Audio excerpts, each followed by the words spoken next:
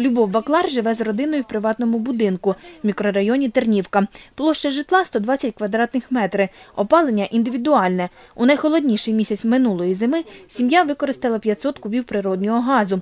З урахуванням субсидії заплатила за це 2750 гривень.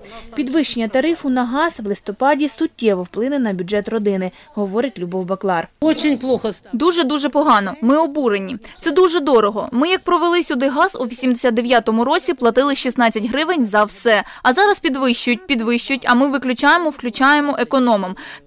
А зараз підвищують, підвищують. А ми виключаємо, включаємо, економом. Та хіба багато зекономиш, як воно таке дороге? А це В'ячеслав Струц. Він також власник приватного будинку. Аби використовувати менше газу на опалення, зробив повне утеплення будівлі. Використовує також і електричні обігрівачі. Говорить, це зменшило споживання газу на опалення вдвічі. У меня давно была цель утеплить дом.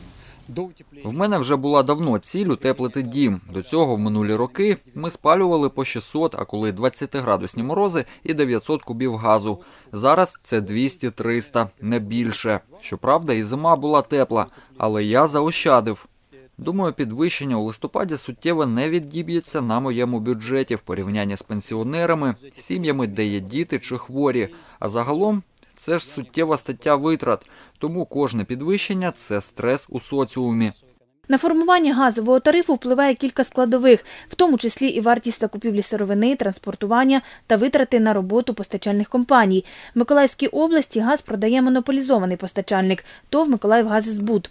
Якщо таких компаній було б десяток, можна було б говорити про здорову конкуренцію в цінах, розповідає експерт у галузі енергетичних ринків Андрій Зінченко. Ті люди, які сьогодні мають застарілі неенергоефективні будинки, вони однозначно матимуть величезні витрати на пальне. І зробити з цим вони можуть тільки те, що проінвестувати у енергомодернізацію. Сьогодні є програми, програми теплих кредитів, які е, фактично субсидує держава, і це реально, це доступно. Між тим, величезна кількість людей взагалі або не знає, як цим скористуватися, або боїться навчитися. І ось це проблема, яку можна ліквідувати, тому що держава вже подбала про це, плануються кошти, і вони реально працюють.